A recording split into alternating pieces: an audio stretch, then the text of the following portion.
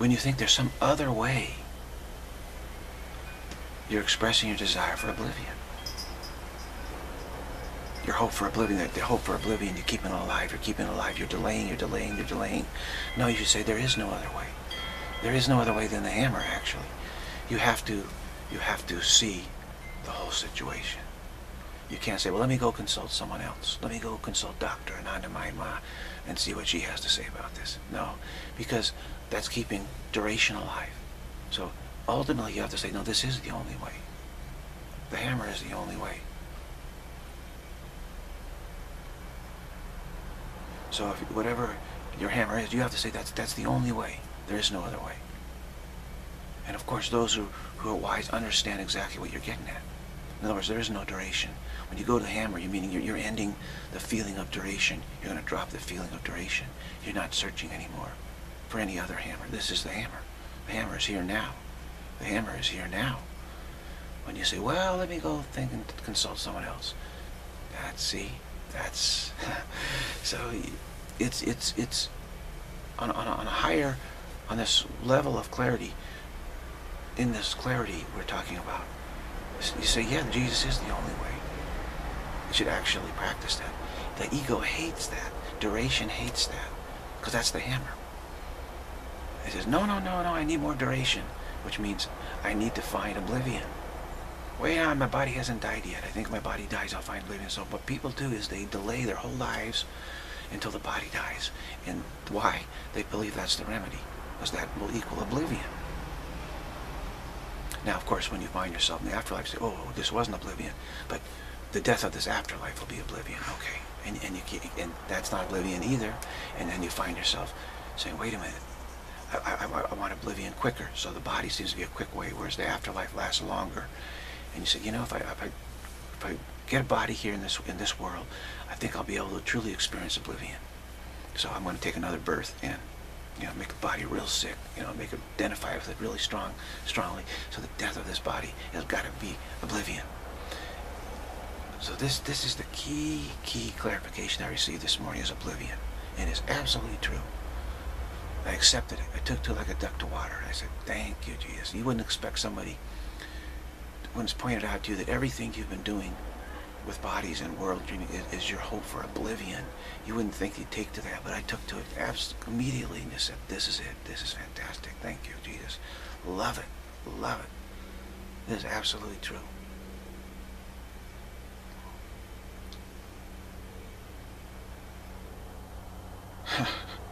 and, if, and when you realize there is no oblivion, what's the body? What's the use of the body then? You know, why am I identifying with the body? The only purpose of the body we're dead is for is we believe it, it, it will bestow oblivion upon us. And when you realize it can't, it's like nothing. What is this? You know, it's like, but then you say, well, yeah, but it's a useful communication device, like a microphone or something. That's fine. Speaker. So they don't kill the body. We realize death of the body doesn't do anything.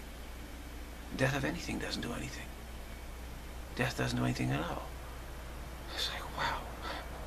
So why do I need to keep identifying with death? That's ridiculous. You, you see it. You feel it. wow.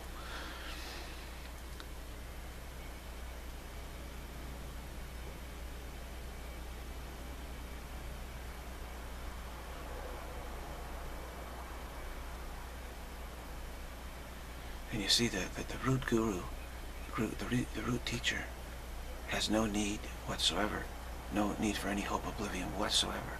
So they're, they're, they can be perfectly quiet, perfectly non-responsive, perfectly, you know, and, and, it's just like, you have take all the duration you want.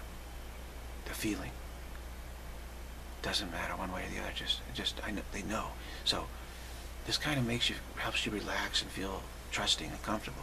Whereas there's someone in the world with a body, you automatically identify duration with them, okay, automatically and therefore it jams it jams up the, the pure transmission. It jams it up.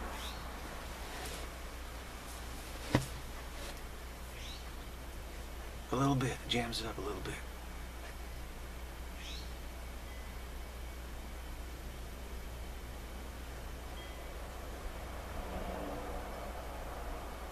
And that's why people struggle and struggle and ask questions, but because they feel like there's just this, I can't quite get the transmission from you. It's jammed up. No, you cannot. Because you identify a world with duration. You identify a body with duration. So you think automatically, I must be identifying with the world and the body and with duration. So automatically you're trying to get here-ness within duration. Duration implies a path somewhere away from here-ness. It has to. Time has to imply that. A path, duration implies time. It implies a process, a path of going somewhere other than here.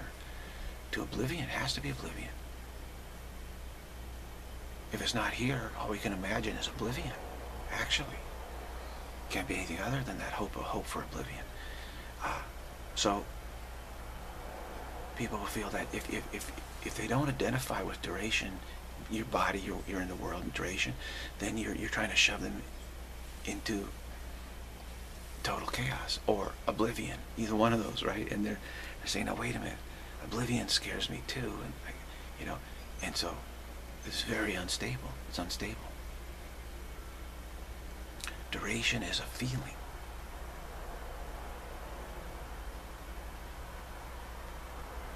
That makes it seem possible that we can search for oblivion. We can be on this great search. We can be on this great dying. We feel we're dying into oblivion. All is dying into oblivion. We feel that this body and world is our salvation. It's our one and only hope. That's why we love it and identify it. But when you realize there is no oblivion, do we love the world? We love our body? No. Not, in a different way, we love the here-ness of it all. But there's no longer a world or bodies, really. We don't see it that way. There's only the here-ness. It's only appearances. And we then we love it that way. But not in the way we're trying to love it. We're, we're loving it because it represents hope. That kind of love. A hope for oblivion. It's like a needy love. I really, I really need you, so I really love you. But when you see through it all, then it's not that needy love. It's just this pure love. I don't need to love you. I just do. I love everything, all, here. I don't need to. It's just, it's effortless, automatic. There's no need engaged. Uh, but our continuity fear is so severe that anyone here in this world, we, we can't we can't just we can't believe it. You know, we just can't believe it. It's just like, well, maybe. That's why I say the best anyone can do in the world is get you to maybe, which then awakens your interest in the pure clarity, the transmission from the root. It awakens interest and says, maybe I can, maybe I should do that. Maybe I should do that. Yeah. So, yeah, it is possible to get to this, this maybe. It's like, wow, maybe.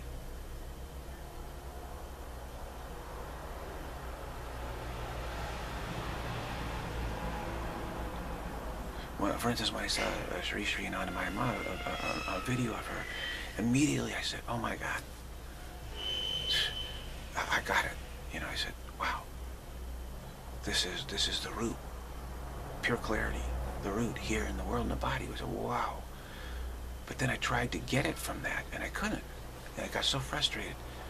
And the most I could get is maybe, as far as me getting it. I mean, I, I realized that what this was, this was pure clarity, you know, moving a body around, speaking to us here in the world. There's no question about it. I saw it immediately. But could I reach pure clarity from this body in the world? No. All I could get to was maybe. You see? That was very frustrating. I thought I should be able to. Because I thought people should be able to get it from me. But no. No. Couldn't get it. And she said, don't, don't try to get it from me, actually. I'm just here to, to, to get you to this maybe so your spiritual practice increases. And that you then turn to the formless form, so to speak, a formless form. It doesn't seem to have any duration because you're looking at me body, you're automatically assuming duration. You see me in the world, you're automatically see, assuming the world, automatically assuming hope for oblivion. You're automatically assuming all this, even though what you're feeling is not that. So you have this maybe. You have this maybe. This is this is the most you can get to with any person here.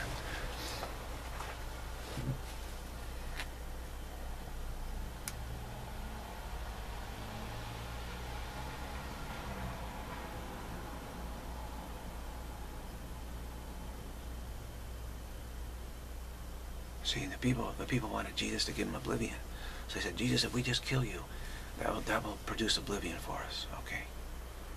Because you're this pure clarity. And if we kill the pure clarity, cause your body to die, then we, we believe that that will produce this hope for oblivion. So Jesus said, well, okay, I'm not going to stand in your way of doing that, but I will tell you I'll raise the body up, and you will see. That's not true. There is no oblivion. They said, huh. Some want to believe in the dead Jesus, that Jesus is dead and produce the oblivion. We need just to worship the death of Jesus to produce. We think that will, that will bring us to the oblivion that we're searching for. Others turn to the risen Christ and say, Jesus saves today. He's walking with us today. There is no oblivion. That's not the, that's not the answer. So there's a, he has a different message from us than those who thought that they were able to produce oblivion. And so you have to listen to that message. That's why I say Jesus saves today. Absolutely true. He's absolutely with us today, telling us there is no oblivion and explaining to us why we find ourselves attracted to the hope for oblivion, why we find therefore ourselves attracted to bodies, to a world, to things, thingness, feeling of durationness. Why do we feel so attracted? Why do we feel so desperately attached to it? We can see why, as I have seen this morning. I see it. I saw it. I said, oh, this is why. Wow. Thank you, Jesus. Wow. Jesus lives. Jesus lives. Jesus saves today.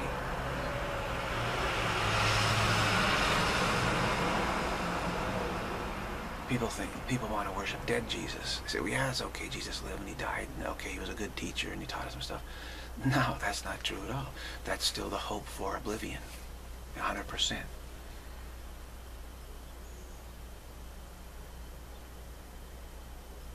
That's why when any of these teachers died, uh, Ramana Maharshi, especially Anandamayi Ma, said, no, she didn't die. She, she's, she lives still. I'm 100% sure of that. 100% sure. And yet, any focus on a body automatically implies duration, especially a body in this world. That's why people tend to turn to spiritual communication, channeling, spiritual communication, things like that, to, to help clarify them. Because it's, it's, when we turn to a body in this world, it can get quite difficult for ultimate clarification. The bodies can bring, here in world, can bring it to maybe. Okay, I would say that's as far as they can go, really.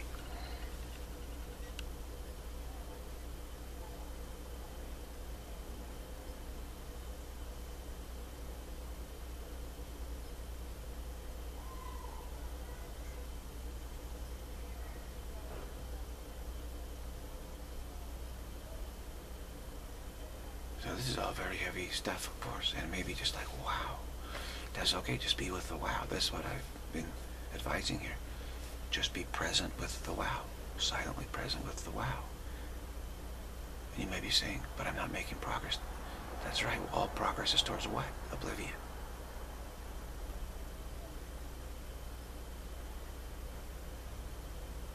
You know, we're not making progress. But we are realizing that's okay. Realizing that it's okay is the wow. See, progress and realization are not the same. We're not on a path of progress. We are on a gentle realization that it's okay not to have a path of progress. And that, and that we can get used to this wow realization gradually. That time is just a feeling. Duration is just a feeling we're having right now. there doesn't really exist all this time that we need to go through at all. We can drop a billion years instantly because it's only a feeling that we're having right now. We can drop all the time, all duration, feeling of duration right now. We don't have to go through another second because the, the, the entire feeling of duration is right now. It's a feeling right now, right here. It's also, distance is also a feeling. Distance is also a feeling. Distance is also a feeling. Time and distance, meaning space. Time and space is just a feeling we're having right now. Duration and space is just a feeling we're having right now. Not pure spaciousness, that, that there's no distance to that, but the, but the, the idea of distance.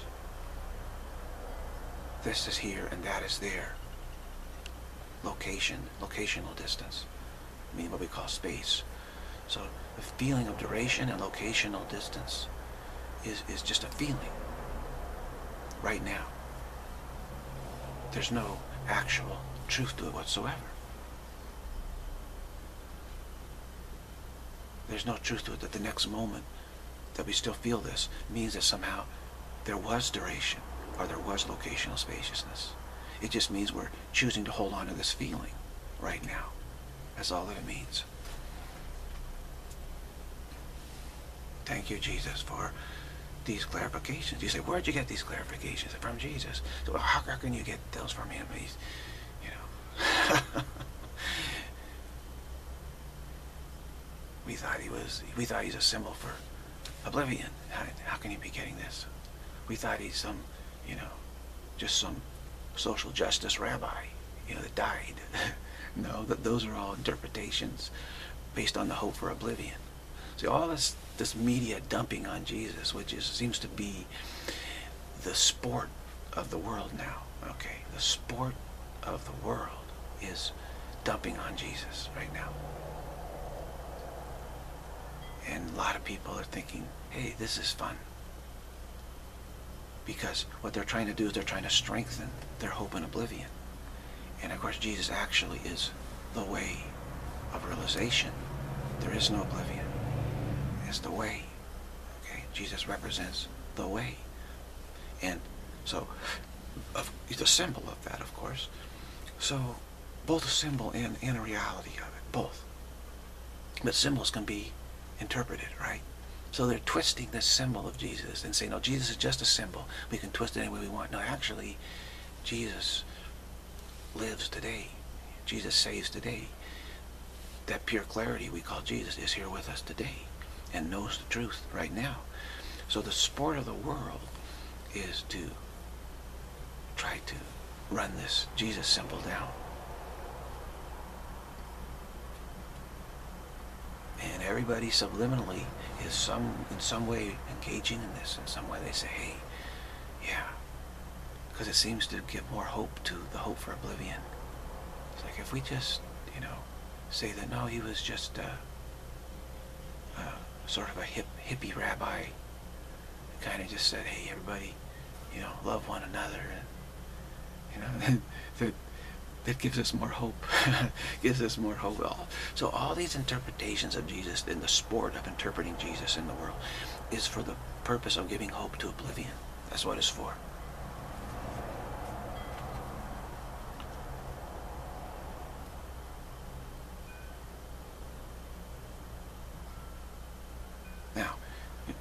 This has been happening quite some time.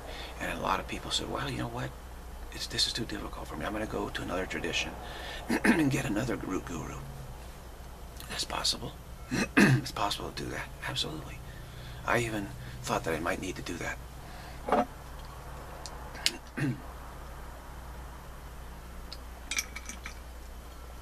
then I bring these other root gurus up because people are, are, are struggling because the sport is to run Jesus down.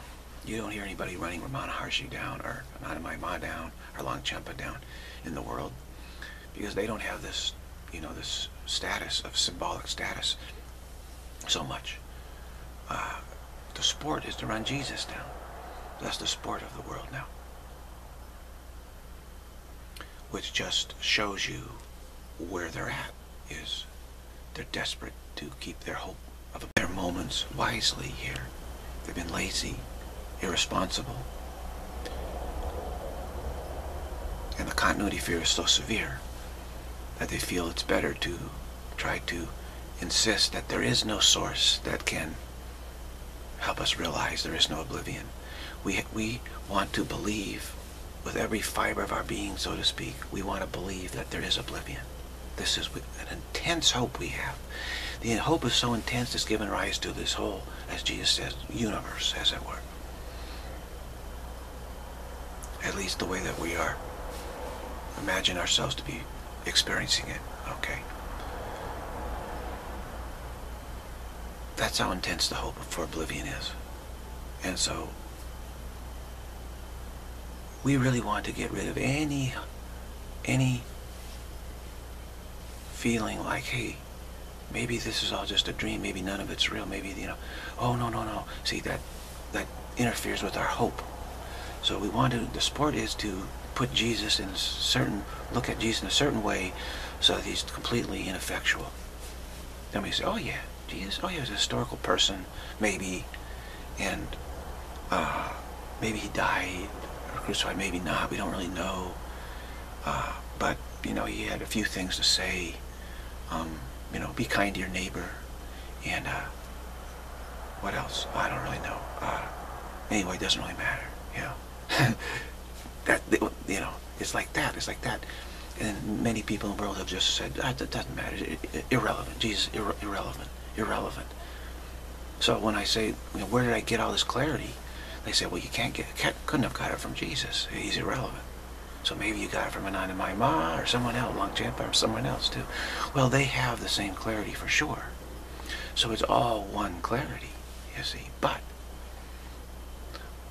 I have to say, I did, I did get this from Jesus. Absolutely got it from Jesus.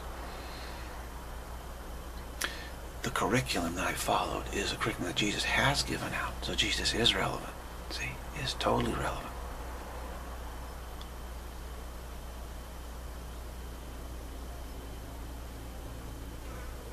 Now, can you get it from those others? Absolutely. Absolutely. Their curriculum is also relevant. If that's, if that's how you feel, if that's where you're actually getting it from. And, you know, that's your root teacher. But my root teacher is Jesus. So the others have given out some help and, and support and reassurance. But their reassurance and support is say, hey, stick with your root teacher. As Ramana Maharshi said, stick with your root teacher. It's very important keep doing it the way you're doing it. That's not in my mom, same thing. Keep doing it the way you're doing it. Don't make me your rude teacher. But the reason why I I saw her and I said, wow, maybe someone in a body here can bring you more than maybe, you see. I said, maybe it's possible, but turns out not. Hmm. See? I thought that would save, save uh, people a lot of suffering. A lot of suffering, but it's not really possible. Practically, it, it doesn't work out that way. That's a hard lesson to learn. You know, I had a lot of hope for that. But that was still probably a, a, an expression of hope for oblivion, right? Hope for oblivion. Yeah, maybe. But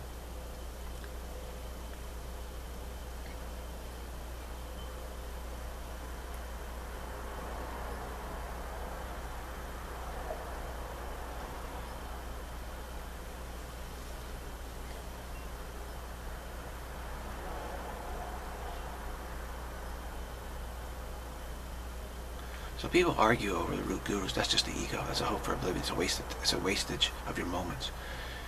If someone insists, no, this is my root guru. This is the only way. Say, great. Go for it that way, and believe it's the only way. That's fine. But also the same. Understand this principle at work. And if I have a say that you know, I'm, listen, I'm paying attention to Jesus, and that's the only way that you'll say, fine, great, go for it that way then, and believe, truly believe that is the only way. Right? This is, is very helpful. There doesn't need to be any conflict. There isn't any conflict there, actually, because we're talking about pragmatism here. So when we say this is the only way, this is a pragmatic statement. It's not an actual statement. It's a pragmatic statement. And pragmatic statements, uh, statements are allowed. In fact, they're encouraged. So if somebody would come to me and say, Ramana Maharshi is the only way, I'd say, great, go for it. You agree? Of course I agree. I'm agreeing on the level of pragmatism. And the ego says, well, what about absolute? So keep absolute out of this because you cannot put the absolute into pragmatic statements, statements and words and concepts at all. So you're insisting that you, you, you speak from the stamp, from the standpoint of just had a visitor just show up. I just keep taping here, so.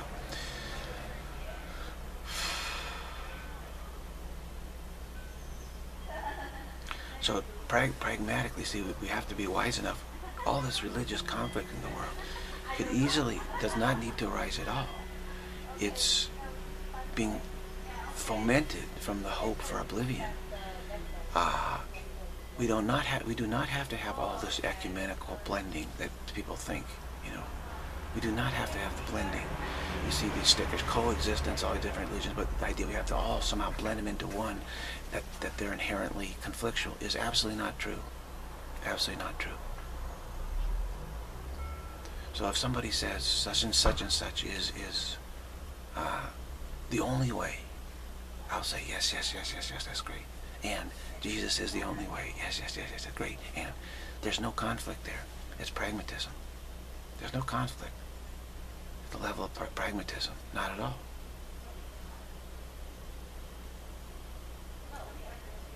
For pragmatically, it's helpful for you to see it as the only way.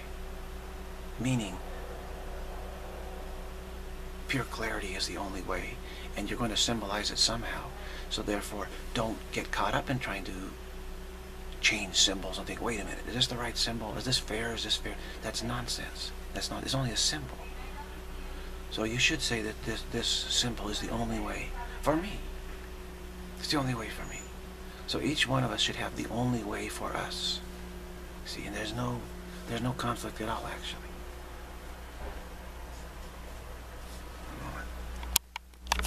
It's the ego that insists there must be conflict there and tries to divide religions and bring conflict among them. Meaning it's the hope for oblivion that insists that there must be conflict. In other words, what they're saying is, none of these ways are the way. It can't be. So, hey, you said that's the way, and you said that's the way. You got a conflict there. You got so they, they, they can't both be true. So there must be a conflict between you. Neither one of them are true. You see, you're all lying, and it goes that way.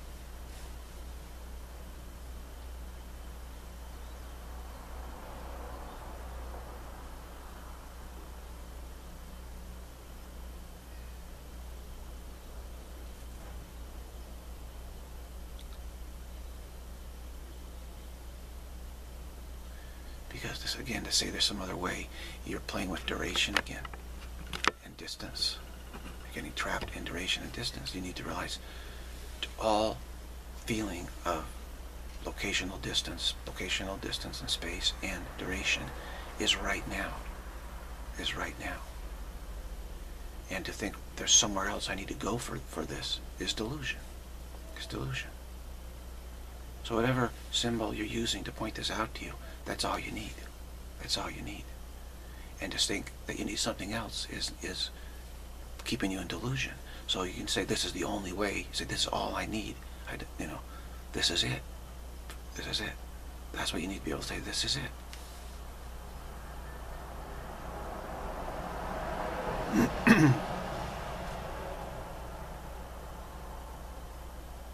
so the Mela of India is designed to help that out. Is all these different traditions of you know Shiva, worshiping the goddess, Brahman, uh, Krishna. Um, all, you know, there's many, many, many different kind of this is itnesses in India. They'd go to the Kumbh Mela, great gathering of all the different traditions. And what you'd have there is you'd have some uber guru there who harmonizes the whole situation and says, hey, it's all okay, it's all pragmatism here. Don't get caught up in sectarian disagreements. And it smooths it out for everybody. And then they go back and, and keep saying, this is it. So Anandamayi Ma would go to the Kumbh Mela and she'd just hang out there. And she'd bring the heads of these various organizations and traditions into her tent there. And they just all sit there. And oftentimes they come with all these disagreements, like, hey, they say they're the way, and we say we're the way, and, and they just sit with her. And when they leave the tent, they've completely forgotten what their disagreements are about. Completely. They say, it's all one. It's all one. It doesn't matter. It's all okay. There's just pragmatism. We just, we need it. So there's no, we don't have any disagreements. We're all brothers, brotherhood again, you know. That's, that's, that's what, that's the genius of the, the, the, Indian system, which is why it's worked so well for so long, which Shankara set it up. See, Shankara is the one that set it up and, and insisted on this meeting every, what, four years, or different places. Sometimes it's two, sometimes it's six, sometimes it's four, depending on the, the largest of the meeting. There's, there's some Maha Kumbh Melas that take place maybe a little longer duration, but there are these regular meetings that have been going on for a long time. Everyone takes this pilgrimage. That is to smooth out this issue and to recognize this pragmatism. At the level of pragmatism, it's, it's acceptable and in fact desirable to say that your guru is the only guru. Your way is the only way. That's, that's, you should be saying that. And the heads of these ways should all know, yes, this is pragmatism, and they should, should let it go at that, right? And yet inevitably, dissension, tension creeps into it a little bit. So you have this meeting every four years, and the tension is released and let go, and everyone realizes, hey, it's all okay, it's all okay. Genius.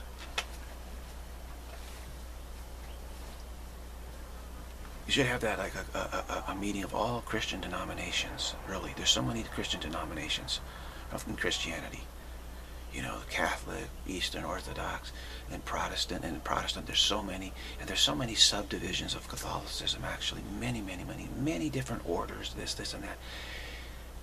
There really should be a global convocation every four years, or so, so often. Uh, maybe of all religions, if that's, but maybe, maybe that's not possible. Okay. But, and same thing within in, in Islam, there should be a global convocation everywhere, all the different, you know, the Sunni, the Shia, and the, there's lots of different offshoots of all of this, the Sufis, and everything come together, you know, and the ascensions. That's why Hinduism has been has been able to, to, to stay away from a lot of civil wars between Hindus for you know for a long time, right? You don't have this division like Islam has of Shia and and and, and uh, Sunni and Shia. Shia. Uh, and in Christianity, you know, Christians, uh, Catholics, and Protestants, horrible wars, horrible, right? It's a disgrace. What happened? They're in Europe? My God, so much war between the Protestants and the Catholics. So if you have this meeting every, you know, like Shankara set up, this is this is not likely to happen. It's not likely to happen. It's an obligation. It's an obligation. And what you have is you have these uber gurus there at the Kumbh Mela where the people feel like, wow, I just gotta go. I just gotta go. I mean, imagine if Jesus was at, at a convocation like this, you know, great meeting, greeting, meeting. Wouldn't you say, hey, I got to go? Whether you're Protestant or Catholic, wouldn't you say, I just gotta go? and that's India actually had, had has that. Had, I don't know how it is right now. If there's some Uber gurus or not, I don't know. I mean, sometimes in the in the Kumbh Mela, you'd have someone wandering out of the Himalayas. Some people say it's Babaji would come. They they just show up. Nobody, and then after they leave, nobody knows where they're. They are. You have these. You can call them ascended masters who would attend, and that takes takes the tension out of the whole situation. They just show you, hey, this is the goal. You're reaching it. All this differentiation is perfectly fine. You don't have to integrate it. This is very important. You do not have to integrate anything here in this world. The world does not need to be integrated. Religions do not need to be integrated. You can never do so. To do so is the ego, 100%. All this talk about bringing purity and integrating polarity and the differences, that's the ego. That's delusion. Okay? It absolutely is delusion. I know a lot of spiritual people who think they're spiritual go around preaching this, that I'm here to help integrate and resolve the polarities into oneness. No, this is nonsense. There is no polarity. What polarity is there to hear? The hearness, the nowness. There's no polarities anywhere. There's only this hope for oblivion. And your effort to, to realize, to, to gradually release this, bit by bit release the continuity fear, and to realize, and you need to symbolize this as you as you back away from your hope for oblivion. It's so extreme, so severe. You're going to symbolize it, meaning you're going to have something that you feel safe and preferred with, and that should for you that should be the only way. You shouldn't have to try to integrate this with anyone else. That's wasted time and destroys the path for you. Destroys the path for you.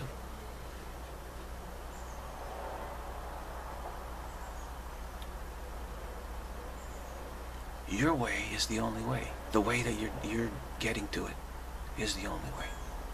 Someone else's way is the only way.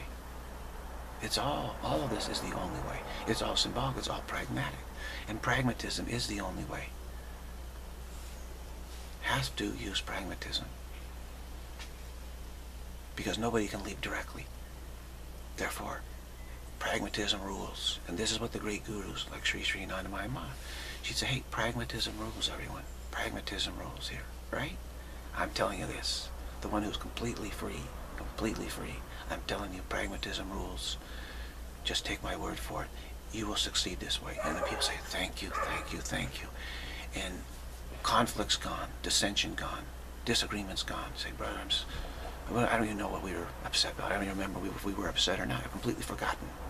So another four years of intense effort. No, no worries respect for it. Respect, respect, respect, respect, you know.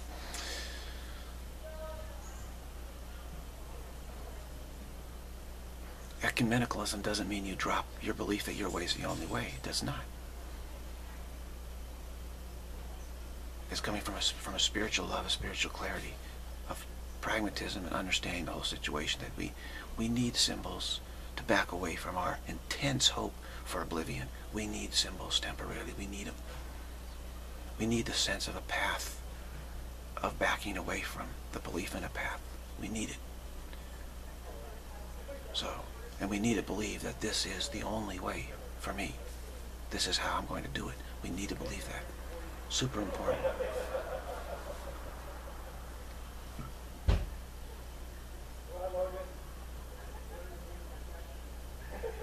So people's belief that someone else is the only way for them should not interfere with our belief this is the only way for me. It shouldn't interfere at all. It should not interfere at all. And I, have never really felt that it did. You know, I never felt that other people's paths interfered with my path, really. I understood that you could interpret it that way, but I said, I'm not going to let it interfere, no way. Whatever the path someone wants to take, they say that's the only way for them, fine. That's how to do it. I said, good, that'll work for you, do it. It's only when someone says, well, this is the only path for you. You know, you have, you know, that's, that's the issue. You say, well, no, it's not. Now, it is quite true that many will see a similar path and that say this, this path is symbolized by Jesus, for instance. That's fine. But there's still a uniqueness to their path. That is the only way for them. There's still a uniqueness to it. And that has to be understood that every path is actually unique. So every path will be the only way for the one who's taking it.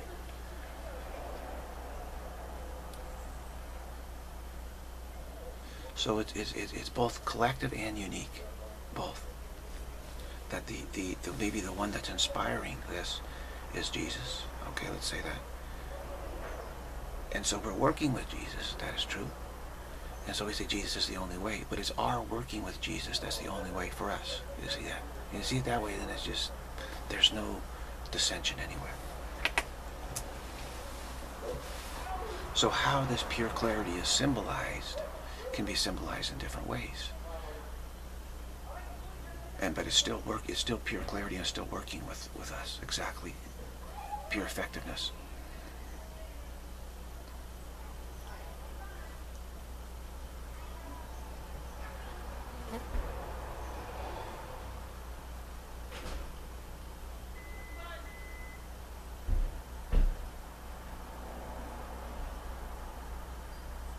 So it's, it's both. It's both. But seeing it that way, It just, so the world does not have to be a place of uh, conflict. And it's funny, it's all those who are trying to turn the world into a paradise, they're the ones who are causing the conflict. It really is. The whole idea of, of, of dissolving polarities is causing the conflict. The whole idea of bringing peace through through this, you know, integrating all religion, that's what's causing the conflict here. If you if you let everyone be and radiate this to the world, that's when people say, hey, you know what? We can get along. It's okay. I don't have to integrate anything with you. You don't have to integrate with me. I don't have to integrate my path with your path. We don't, all we need to do is say my path is the only way. And then for me to take that only wayness from, from my path and to get the transmission from pure clarity. Get the transmission from pure clarity.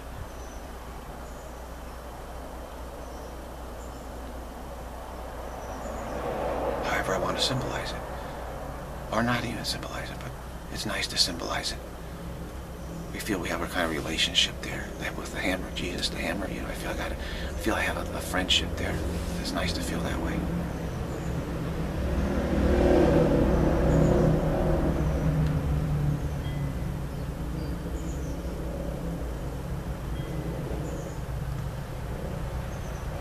That's when there will be quote unquote peace in the world. There will be there won't be all this conflict and war and all that kind of stuff. Not from one group trying to force their uniqueness on, on the whole world.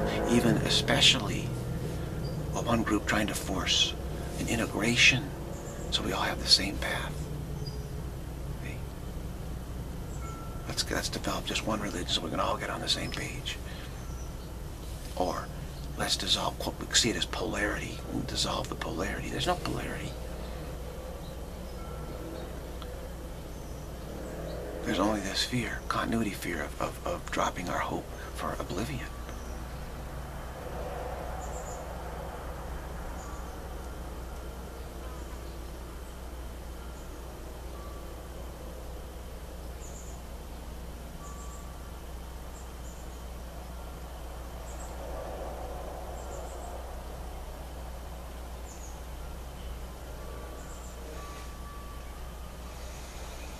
So I can I say, am I close? Well, close to realization. Well, uh, as soon as you say you're close, you're believing in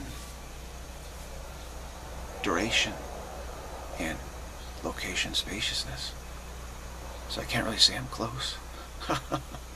I'm either here or I'm hoping for oblivion. but is there, is the fear diminishing? Yes. Is the fear diminishing? I don't want to think of it in terms of close. That's what prevents it, you know. That's what prevents it. So it's neither close nor not close. This is a way of talking. If you want to help yourself, talk in this double way to to recognize recognize duality for what it is. I'm neither close nor not close, nor nor both nor neither, nor both nor neither. This is called affirmation rap, affirmation talk, uh, non-dualistic talk and you can actually talk this way as I have in, in one video. I'm, I'm, I'm, I am, what do I say? I am and am not the Jesus free Jesus. This helps a lot. This helps a lot. I'm just giving out helpful pointers and advice, but you have to apply it. You have to apply it. If it's not applied, it's, it's, it's sterile. No effectiveness. Little, very little. It, it, can seep into you, but applying it is, is, is more helpful. Try try the affirmation rap. I am I am I am neither close nor nor not close. I am neither close nor not close.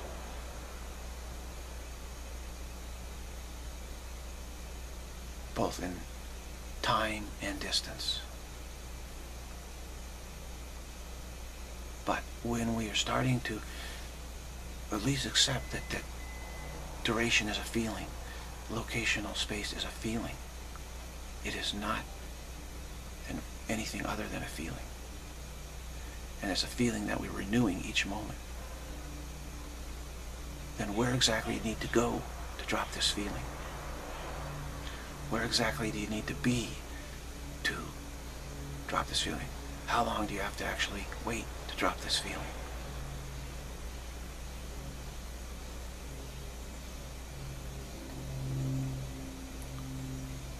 Oh, if you get a little nervous and antsy, that's fine. Just recognize it. So I'm getting a little nervous and antsy, and then just let it drop. Tapping your foot, you know, tapping my foot. Of course, there's a little bit of nervousness when you're recognizing it's only a feeling. It's like, wow, we're in heavy territory here. We're, we're, we're in consequential territory here. But just get used to it. You see, this, this is the most, more important than finishing it, is getting used to being in this consequential territory. Because we're, we're unlikely to finish it until we're comfortable in this consequential territory. So that's how we get to finishing finishing it up. Is just say, oh, okay, it's just it's it's just a feeling right now, and I don't need that feeling anymore.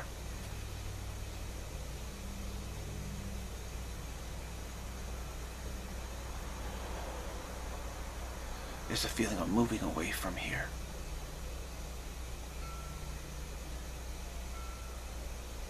Again, that feeling is renewed each moment, so we're not really moving away at all from here.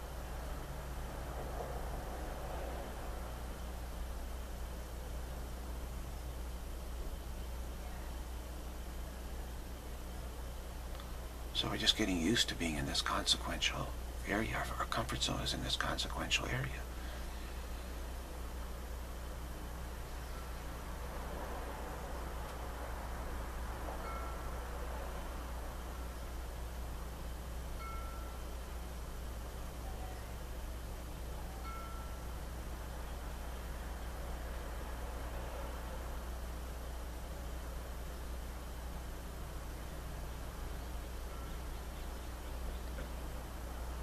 And sometimes we need to just even stop digging and, and, and, and looking and just look around and just say, okay, everything's fine. I mean, everything's normal. It's all okay. Just establish a, a normalcy to the whole situation.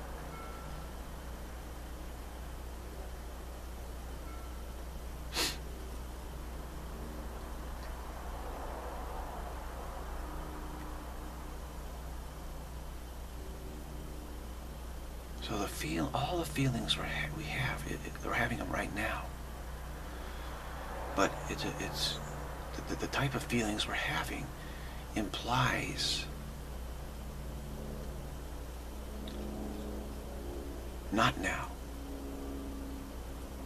like distance, because we don't like how this feeling feels. It's a, it's it's showing us that through through relocating and through time we'll be able to get rid of this feeling because it's really the hope for oblivion. So it's very important. It's the hope for oblivion. And it's the fear of this uh, definitional chaos. So the feeling we really have is fear. And the allied feelings, defensive fear, is this duration and spatial location. But all of that fear, all of those feelings are right now, always right now.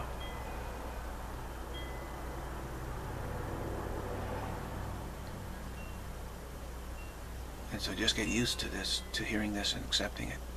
Get comfort get comfortable in this consequential territory.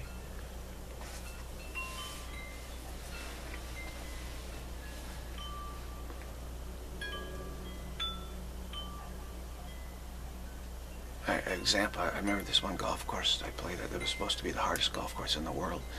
And I really thought I was going to die when they went out and played. I was so scared. It took me years and years of thinking about it and trying to, studying the course layout, trying to get a feel before I got there that to, to diminish my fear. And I, I, diminished my fear enough to actually go there. But when I got on the first tee, I, I literally thought I was going to die. I know it seems silly, but no, I thought this, this course is going to destroy me. I'm going to just be just reach the point where I'm completely non-functional. Well, I made it through, but I was, it was just like the most intense experience.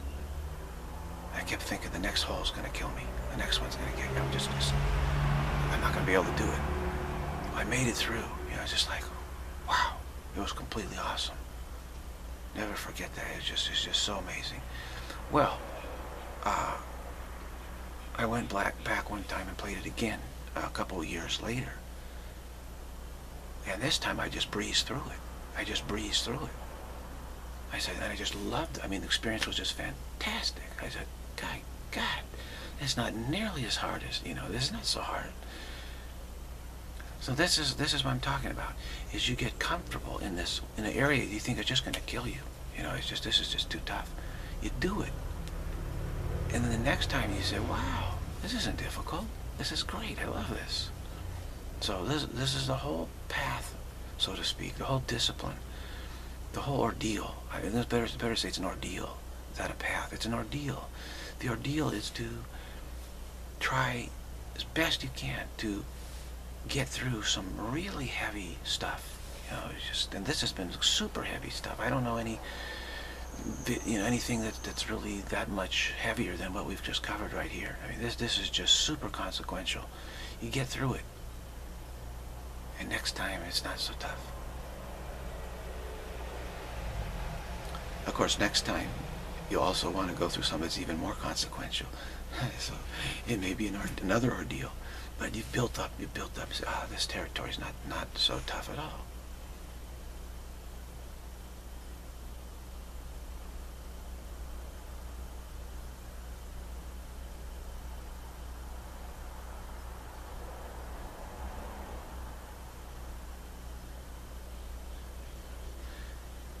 Now, how, how did I manage to go back? And it's not easy because I played on a course other nearby practice so many times that and it's so difficult. It's, it's incredibly difficult course. And I just got used to it, used to it, used to it. And so I just got used to the degree of difficulty just being constantly present, constantly present. There's like no easy shot on the whole course. It's, it's just, just a grind of difficulty, constantly, constantly, constantly. And so I went back, I just so used to it. I went back to that course, I just so used to, okay, this is the routine, this is how I, my mindset, and I just one shot, another shot, another shot. And so it wasn't, bother, didn't bother me at all. Didn't bother me at all. Oh, okay, I'm in a bunker that's 16 feet below. That's okay. Just, you know, just do the best I can, make the best shot I can. Play safe, you know, where do I need to land this? How do I play safe here? How do I play safe here? How do I, you know, align this shot? Where's the best place? And just, he just, my whole mindset was, was trained properly.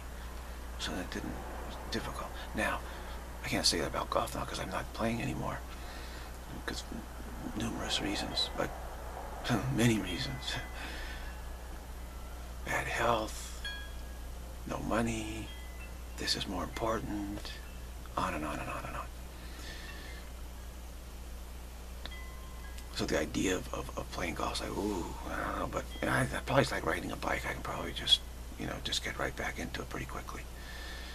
It's just this, don't think ahead. You're just this one shot and that's it. It's just this one shot and that's it. And just do the best you can with that shot and then learn from that shot. Go to the next shot. You know, where do I try to try to get this? The next shot. Where do I want to miss this? The next shot. Okay. And you just grind it out that way. And it's like that with this spirit, spiritual ordeal is, okay, here's this concept, this idea. Okay, let me focus on this. Okay, here's the next one. You know, okay, here's the next one just to be, do the best I can, do the best I can, do the best I can, do the best I can. It's probably the score is probably not going to be very nice. Whatever. You know, I'm not really concerned about the score, what, what my score is. I'm concerned about finishing. You know, whatever the score. By, by the way, on the final green you pick up, and that ruins your score. You don't have a score. You realize you don't need a score.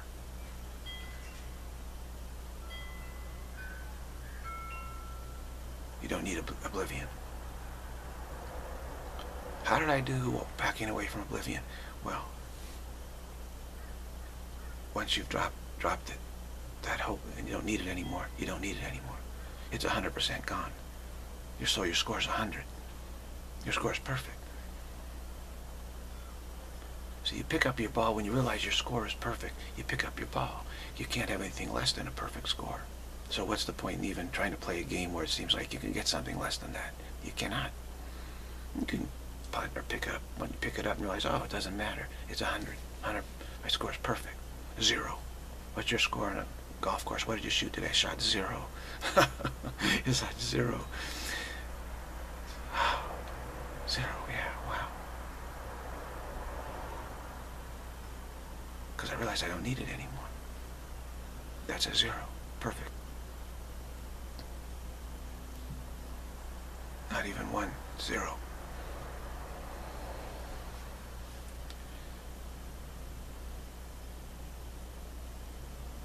So this all produces like a buzz, just a general buzz, like wow, just been buzzed, which is fine. That's what you want. You want the ordeal. I just went through an ordeal. If, if you're spending time that you think is just spiritual time, if it's not an ordeal, you're wasting your moments. You're wasting your moments. You should always go into it with the feeling this is going to be an ordeal. Not the kind of ordeal like I just spent a whole bunch of time and I'm exhausted. No, no, no, that's not it at all. It's like this has just challenged me beyond what I thought I was going to be challenged. And this is just, I'm, I'm got this buzz like, wow. Didn't expect this, wow. But in a positive way.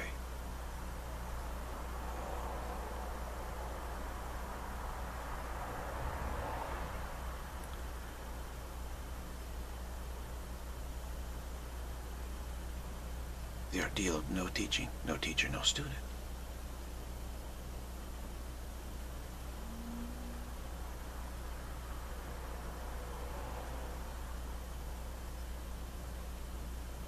You know, I moved into ground I'm not comfortable with. That's the ordeal. Where I really am not comfortable with, where I really didn't expect it, where I really, not just the same old discomfort stuff, oh yeah, no, this, this, you know, this is different, it's profound.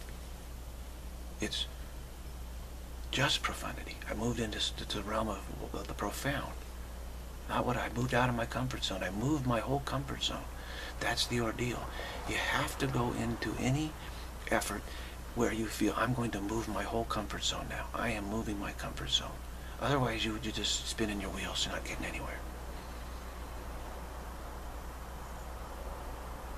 So it's going to be an ordeal. And you're going to feel just like, wow. But it's a good wow. It's a good wow, not a negative wow. You can easily get put an ordeal of spinning your wheels and it's a negative wow. You feel like like I'm real tired and I feel very negative. But me, I feel like tired now. I've spent a lot of effort and nerve, but it's it's a it's a good thing. I feel like this this is like fantastic, wonderful, wonderful. Thank you, wonderful. There's a positive wow going. It's like this. This is wonderful.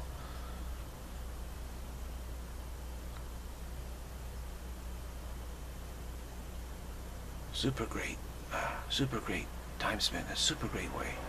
Yes, it's, it's an ordeal, but super great ordeal. Love it, love it. You need to have this feeling like, I just love it. Thank you, man. This is great. Just love it, love it, love it.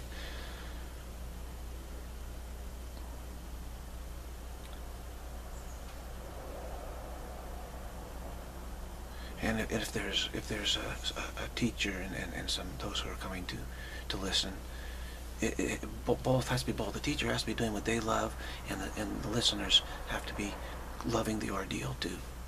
You cannot go to teacher and say, you know what, can you put me through an ordeal that I love, and something the teacher doesn't love, because no, the teacher's not going to love that. So it has to be both. It has to be both. It has to be both. So the teacher has to say, this, this is the ordeal that I'm offering. And then it has to be those who, who want that ordeal to come. And so it's all positive. It's all positive. It's not like you can't walk into a car dealership and say, I'd really love to buy a car, but, you know, there's a Toyota dealership, walk in a Toyota dealership. I really love, I just want, just want to buy a car, I just love to buy, I'd love to buy a car right now, right now. I've got the money, everything, but, you know, I want to buy a Cadillac. Huh? And so you spend all your time arguing over well, these cars aren't what I want to buy. This is, now this one isn't quite right either. Now this one isn't quite right either. You spend three hours in an ordeal of saying why you don't like each all these cars that are there. Instead of just going to a Cadillac dealership and buying the Cadillac. So you got to say, hey, this, this, this is selling Cadillacs. This is, you know, say, this, this is selling Toyotas. You want to buy a Toyota? Go, go to the Toyota dealership. You want to buy a Cadillac? Go to the Cadillac dealership. And then the ordeal of buying the car is going to be a positive ordeal for you. Like, wow, that was an ordeal, but I got what I, I wanted. This is great. This is great. And the, and, the, and the dealer will say, this is great too. I got you the car, you know, got you in the car that you really wanted. So anyone here who's, who's, who's in a quote-unquote authority of a teacher, they're offering an ordeal. Say, this is the ordeal that I'm offering. And if this is, you know, you feel, you know what? This is this is the ordeal I want.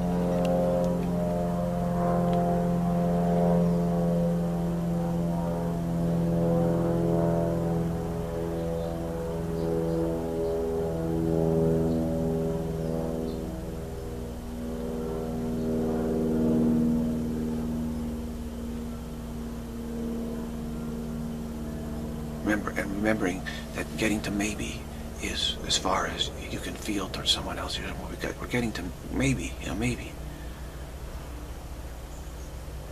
But your realization, you'll realize that you've realized, and this is beyond any relationship that we think people have here, bodies or something. No, this is, this is, this is, no, I am not a body. No one's a body. There is no world. No, but there, no one's in any world. No one's in any body. There are no bodies. There are no worlds. There are no relationships between bodies. There's no relationship between bodies in the world. There's only here. There's only here-ness. There's only here-ness. There's only here-ness. There's only now-ness. There's only here-ness. There's only now-ness. You can just use one term, the here-ness. There's just the here-ness.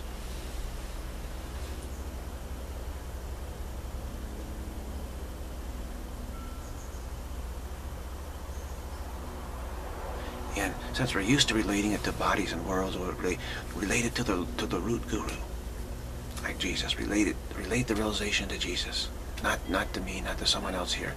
Relate it to Jesus or what your root guru happens to be.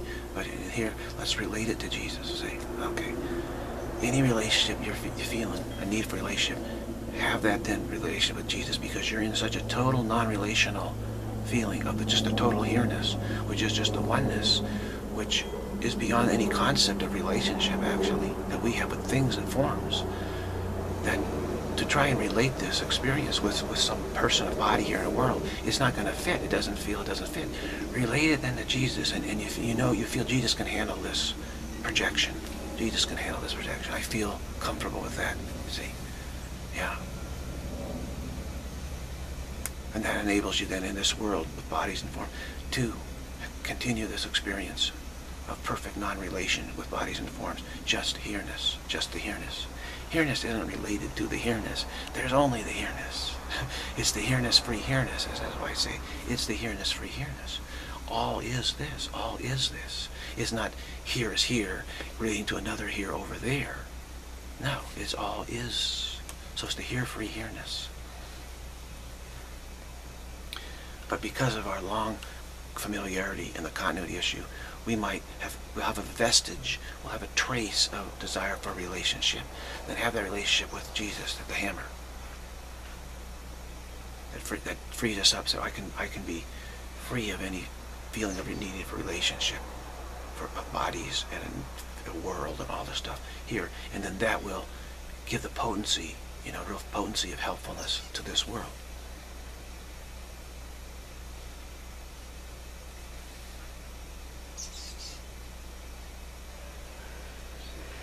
So this is just very intense. For me, it's very intense, absolutely. if you're if you're getting this, it's, it's, it's intense, isn't it? This is this is causation. This is this is where it's happening. You see, the vestigial familiarity with time and distance and space and therefore relationship, project that all onto Jesus. He can handle that, harmonize it perfectly. Don't project it on anybody here. and then you'll be free to be very helpful.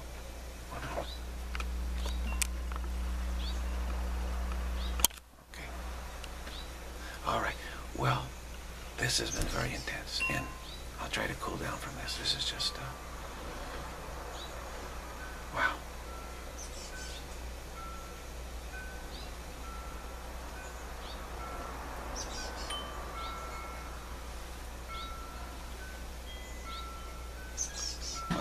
Not so much cool down, but just get comfortable with it. Comfortable with it. This ain't this ain't gonna cool down really. This can't really cool down. This is information is it's live, you know. It's live wire. You can't really throw the circuit breaker on this, really. No. This is a live wire now.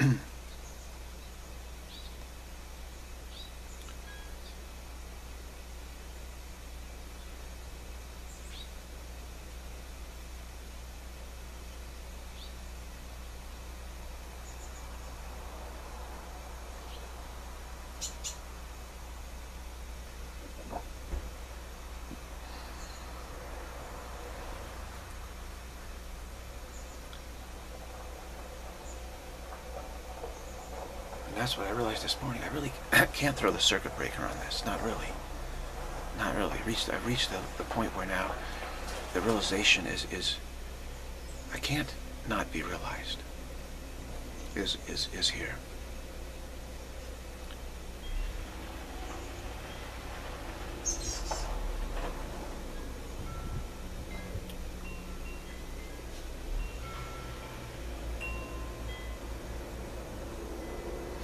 So just accepting that, I, I can't, I can't not be realized. Once this, this, this amount of clarity is, is reached, it's, it's not possible to not be realized. Can't, can't not be realized now. So I need to just kind of focus on this and, and, and just, that's an affirmation. I can't not be realized. It's no longer possible to not be realized. It is no longer possible to not be realized.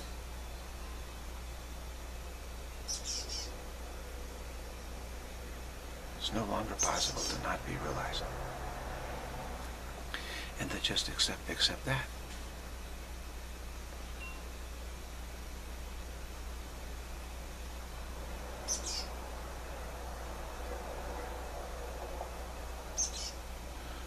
Well, I mean, I could not be here.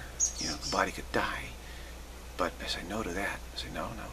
And then the realization wouldn't be apparent, you know, to the world. But as far as my mind goes, the realization can, cannot cannot not be realized. Really, it's not really possible now. I'll keep the body. It's not a problem. It's set up that way. Working on that, you see. Working through this. People might say, well, we can't, we can't relate to you entirely, so you need to die, and then we can. No, no, no, Jesus, relate to Jesus. Jesus already died that way. So that's the root guru. Have a relationship with Jesus. The, the, the final relationship. That until you drop all relationship with things, with time, location. Relationship meaning locational. Time, loca locational space relationship. Instead of just the, the, the here-ness. That is pure relationship. That is cannot be conceptualized at all. Pure love, pure relationship. We cannot, you know, really experience that here. So we'll have just a vestigial have relationship with Jesus. Not with me, with Jesus. Have relationship with your root guru, whatever it is. Don't have relationship with me. Absolutely not. That, that way it frees you up for the here-ness. Just to abide in the here-ness.